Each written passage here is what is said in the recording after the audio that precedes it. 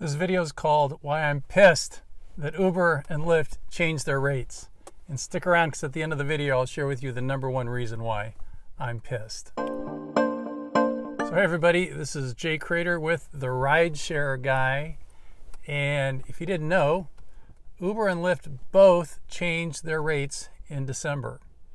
And what I'm going to do is go over five aspects of that change. First is the announcements that they made to us, the drivers. So it was first I heard about it from Uber on, uh, November 29th, and I got this email.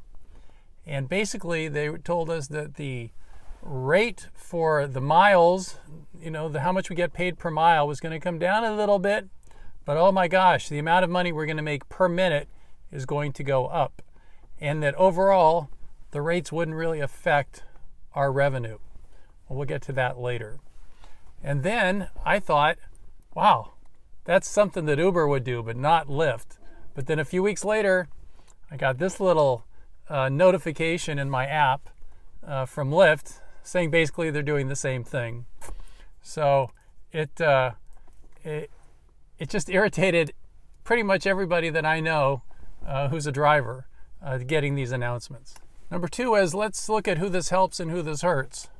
So if you're an aggressive driver and you're trying to maximize your revenue, this hurts you because the goal, the game has been to get as many miles in as you can because those miles were paying us the most, not the minutes.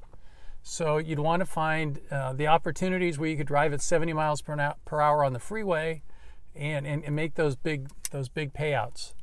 Um, now, those are going to pay you less. Now, if you're not a great driver and you're not looking to maximize uh, your revenue, you're sitting in traffic. You don't really care. And if that's the case, this change will benefit you because you sitting in traffic, you're going to get a little bit more per minute and you'll make a little bit more. So I don't like the change, if you can't tell. This is why I'm pissed because I really work hard to, to maximize my driving time on the weekends to get those long trips so that my per hour earnings is as high as possible. Number three is driver backlash. So I did some looking on the internet, and no driver is happy with this change. It's just BS that we're being told by Uber and Lyft that our rates won't change, that we're going to make the same amount of money, right? We make a little bit less on the long rides, a little bit more on the short rides, but it's all going to kind of even out. That's what they've been telling us. So I did a lo- little bit of looking on the internet, and man, there is some serious backlash, and uh, it's well deserved. Number four is bad timing. Uber and Lyft, this is bad timing. I mean, what were you thinking?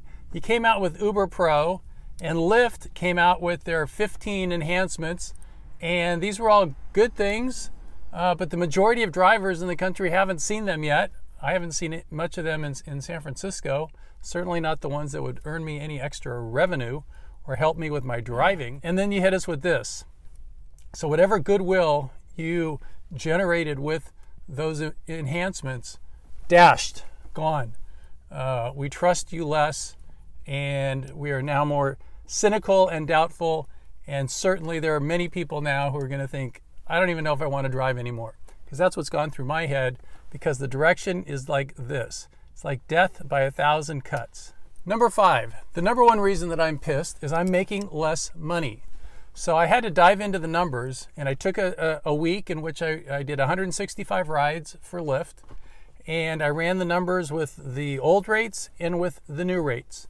And you know what I found out? I would have made $34 less, which is about 2% of my driving revenue. This is not counting bonuses, not counting cancels, not counting tips, anything like that, but just, just purely on the, the time and distance. Uh, that's 2%. So if I make $100,000 in a year, I just lost $2,000 uh, based on what I saw in that one week. Another driver did did his research as well, and he found out in Boston that he was he lost $12 in a week. So these may you may say, well, what's the big deal? $34, $12. Well, over a year or over a career, that's a lot of money. $2,000, that's that's a good vacation I'm missing out on because of this change. So that's the number one reason. You know, I work hard. Y'all have your reasons for working and putting, and This just makes it harder for us, the drivers, uh, because we're making less money. So, in summary, the way you got to look at this is we are pawns on a chessboard. And as long as you understand that, as long as you don't have these visions that you and Uber and Lyft are partners and that they have your well being in mind, that you are a pawn and they're going to manipulate you as much as they can uh, to make as much money as they can. If you understand that's the game that they're playing and you're okay with that, then it's okay.